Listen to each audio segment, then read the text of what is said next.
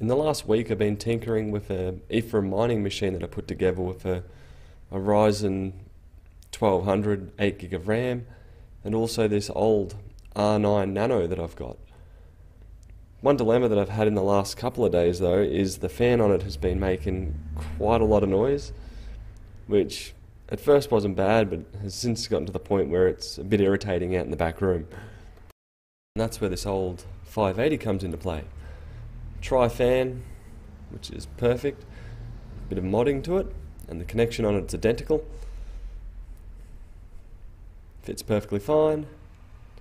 And here's me experimenting with trying to get it to work. So, took a little bit of time, bit of chopping, bit of bending, but worked fine in the end.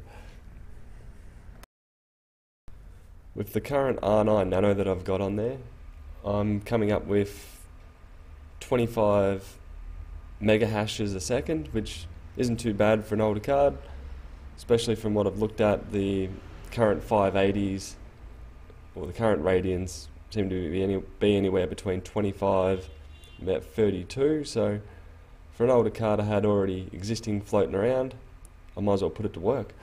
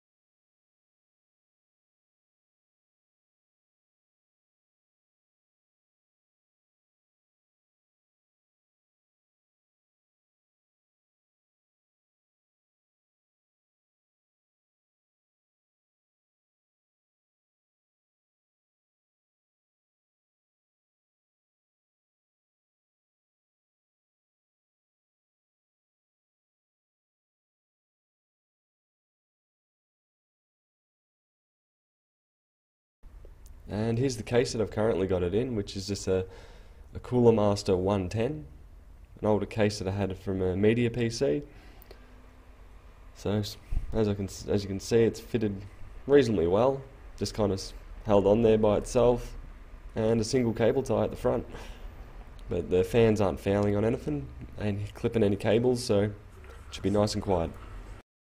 And as you can see from this video, the fans are spinning and I've stuffed a few extra fans in there as well.